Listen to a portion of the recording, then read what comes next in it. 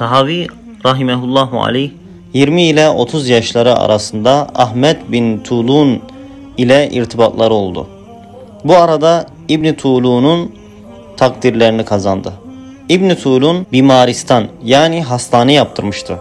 Bu hastane ve orada bulunan eski bir mescit için vakıf bir arazi vermek istedi.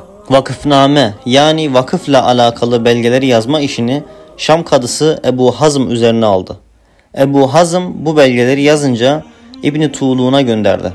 İbni Tuğlun Mısır'ın meşhur alimlerini çağırıp Ebu Hazım'ın hazırladığı belgelerde herhangi bir hata olup olmadığını incelemelerini istedi. Alimler belgeleri inceledikten sonra hiçbir eksik ve hatalı durum yok diye rapor verdiler.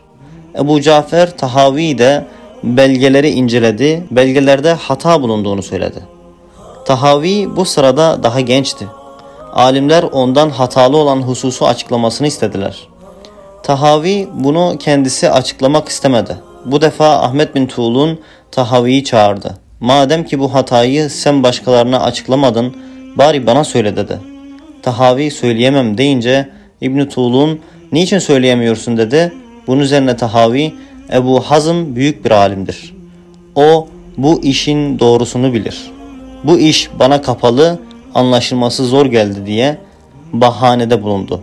Ahmet bin Tuğlun onun bu düşüncesini beğendi. Ona izin verdi. Git Ebu Hazm'la meseleyi görüş dedi. Tahavi Şam'a gitti. Onunla meseleyi görüştüler. Ebu Hazm da Tahavi'nin söylediği gibi hazırlanan vakıf belgelerindeki hatasını gördü. Tahavi Mısır'a dönünce İbn Tuğlu'nun yanına gitti.